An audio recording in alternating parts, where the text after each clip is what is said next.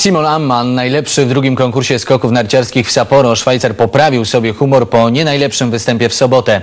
Dziś był bezkonkurencyjny. Najlepszy z Polaków Łukasz Rutkowski, 13.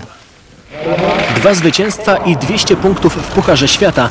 Takie były weekendowe plany Simona Ammana. O ile w sobotę Szwajcar nie wykorzystał nieobecności głównych rywali, był piąty, o tyle dziś zdeklasował wszystkich. 139,5 i 135 metrów. W obu seriach lądował najdalej.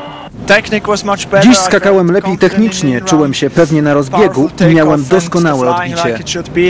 Drugi w niedzielnym konkursie był Noriaki Kasai, trzeci Martin Koch. Sobotni zwycięzca Thomas Morgenstern został zdyskwalifikowany za zbyt duży kombinezon. Do serii finałowej awansowało dwóch Polaków. Łukasz Rutkowski był 13, Marcin Bachleda 24. W klasyfikacji generalnej Pucharu Świata Amman znacznie wyprzedza Gregora Schlierencauera. Adam Małysz w Sapporo nie startował, jest dziewiąty.